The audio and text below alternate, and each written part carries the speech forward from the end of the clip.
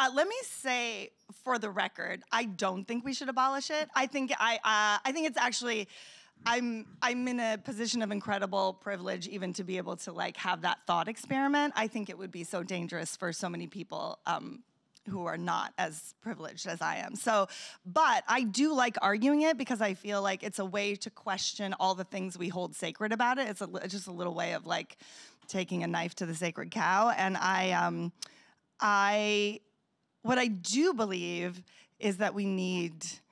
Uh, amendments. I believe we need an equal rights amendment. I believe uh, I, I, I, would argue for uh, a process by which we amended the Constitution to uh, give more positive rights, to more actively address the inequality in this country.